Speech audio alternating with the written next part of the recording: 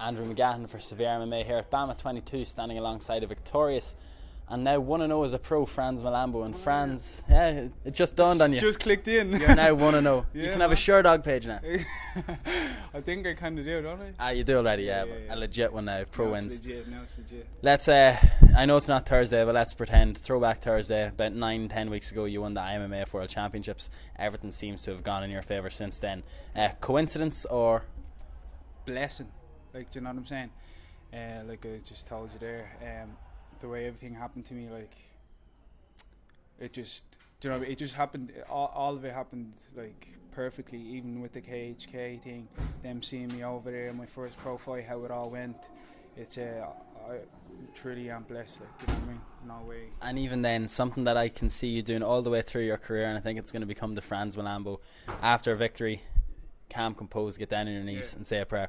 Genuinely, I used to thought it was you uh, taking the piss, Oh, but now, now, since getting to know you more and getting to talk to you more, I just think this is going to be your thing. Yeah, well, it's like even especially after like a, a fight went like that, like uh, I get on my knees and I, and I, and I pray that like the guy is safe. Like, do you know what I mean? I thank God for giving me the strength and uh, for all the blessings that He's given me. And then, uh, yeah, that, that's what I do. I don't do it for like a show or nothing. Uh, I- I'm truly I do something. But that that's the cool thing about you. You hit, yeah, connected with the straight left or right. straight right. Yeah. Uh, put him down. Didn't want to engage. You thought, Yeah. referee, do your job here. This fight's done. Yeah. The referee made you hit him again. Yeah, because I looked into his eyes like, like, um, and he, he was just gone. But he was like, uh, in a defensive position. So for the ref, like the ref actually couldn't have stopped it because your man went on the floor, but he had his arms up. Like, do you know what I mean? He was in a defensive position. I could see that he was gone, but uh, it wasn't up to me to stop the fight. It was up to the ref. Uh, I, I didn't like getting them few shots in, like, but uh, the ref did what he had to do, and um, it, it just happened. It's the fight game. Like, it, it's gonna happen either way. Like, do you know what I mean? Them few extra shots are gonna get in. I don't want to uh, pry on this, and it's only because you've mentioned it before, but uh, you have had issues in the past dealing with the fact that you're a fighter Mm-hmm. and causing pain on someone like that. And to me, that's a crazy thing that a guy as good as yourself that has the world at his feet and then was even considering packing it in. Yeah, like that's what I'm saying. Like I'm, uh, like as you know, I was an atheist.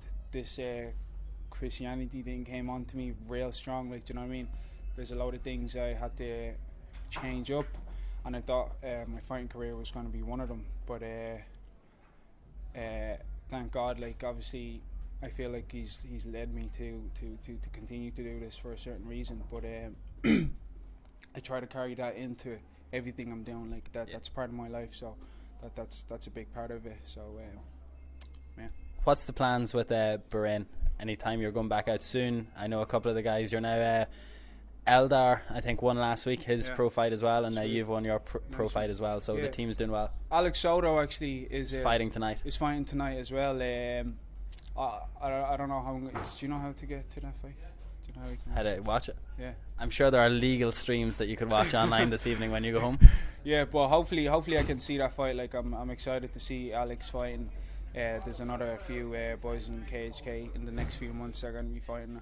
I want to support them, like, because we're, we're part of this team, like KHK, and uh, we all need to be behind each other. Like, you know what I mean? Frans, one thing before I let you go, where are the one dollar shades?